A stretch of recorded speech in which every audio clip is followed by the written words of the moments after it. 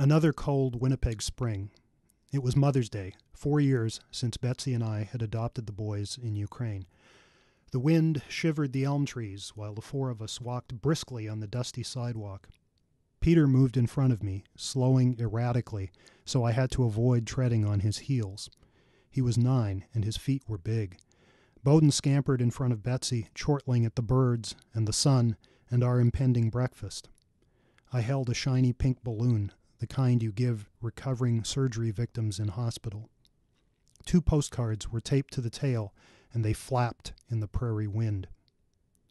When we got to the schoolyard, we stopped in the middle of the soccer field.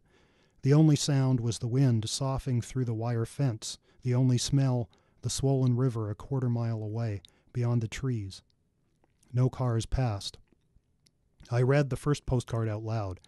Bowden had scrawled his message in large letters, and it had taken a lot of time and Betsy's help for him to write this out.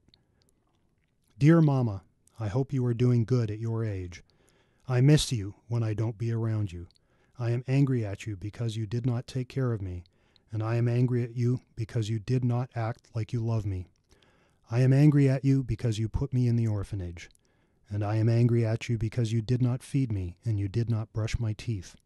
Love, love, love, love, love, love. Bowden. When I finished reading, Bowden nodded his head and stared with his deep brown eyes into the distance past my shoulder. I am angry at her, he said. He did not remember his life before adoption. We had told him the story of how his mother left him and how he went to the orphanage with Peter. Then Peter read his postcard, which he'd written quite quickly, on his own. Dear Mamma, I miss you a lot. I wish some day we will meet when I am still young. Love, love, love, love. Peter. You don't feel angry at your mother? I asked Peter. No, he said. His long face was serene. I released the balloon, and the chilly breeze and helium pulled it up.